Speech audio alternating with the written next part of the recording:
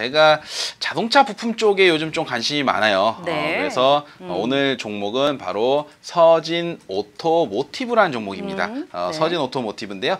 어, 이 종목 어, 일단 매수가부터 말씀드리도록 할게요. 어, 지금 3,995원에 어, 마감이 됐는데요. 어, 4,000원에서부터 4,050원 어, 라인에서 매수가 가능하다라고 말씀드릴 수가 있고요.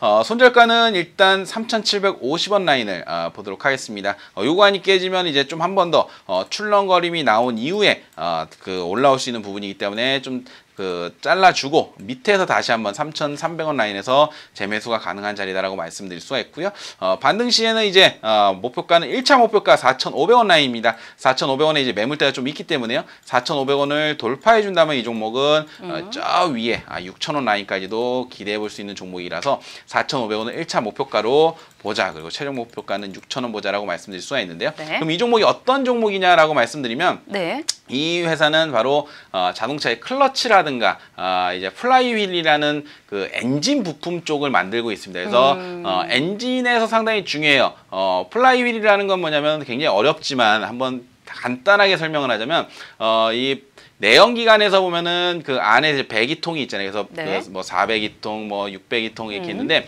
그그 배기통이 쭉쭉쭉쭉 움직이면은 이게 폭발을 통해서 이제 힘이 전달이 되는데 폭발이 일정하지가 않아요. 그래서 그 음. 일정함을 유지해주기 위해서 그 배, 배기통 끝에다가 아, 여기 그 휘- 휠을 하나 답니다. 아, 음. 톱니바퀴 같은 걸 하나 달아요. 그래서 네. 그게 이제 자연적으로 계속적으로 돌아가게끔 안정적으로 돌아가게끔 해주는 게 이게 바로 플라이휠인데 이거를 만드는 회사입니다. 그래서 기술력이 상당히 중요하다라고 말씀드릴 수가 있고요. 우리나라로 따지면 이제 기아, 현대 전체적으로 납품을 해주고 있고 그 외에 아, 국내 차에 어, 납품을 하는 회사다라고 말씀드릴 수가 있는데 어, 자동차 부품이 만드는 회사인데 그럼 지금 시점에서 왜 만드냐? 왜 어, 자동차 완성차 자체 가 지금 어, 관세라든가 이런 것 때문에 안 좋은데 왜 그런 얘기를 하느냐라고 본다면 네. 이 회사의 클러치, 클러치라는 부분이 지금 하이브리드 자동차의 음. 공동 제작으로 지금 그 연구 개발이 들어가고 있어요. 그래서 하이브리드라고 하면은 내연기관도 있지만 이제 전기라든가 이런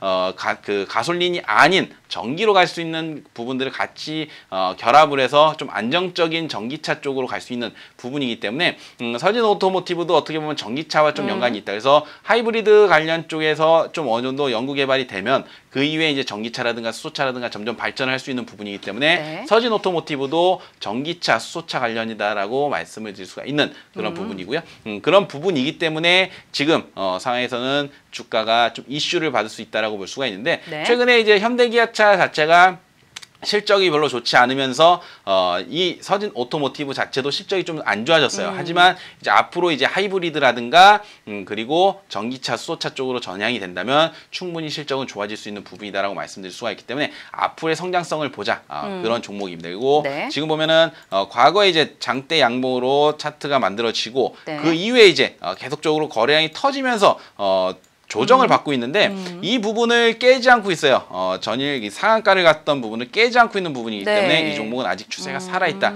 아, 이 부분을 지지해주고 반등이 나온다면 상한가가 있는 종목이기 때문에 급등을 한번 해줄 수 있는 종목이다 음. 이렇게 말씀을 드릴 수가 있습니다.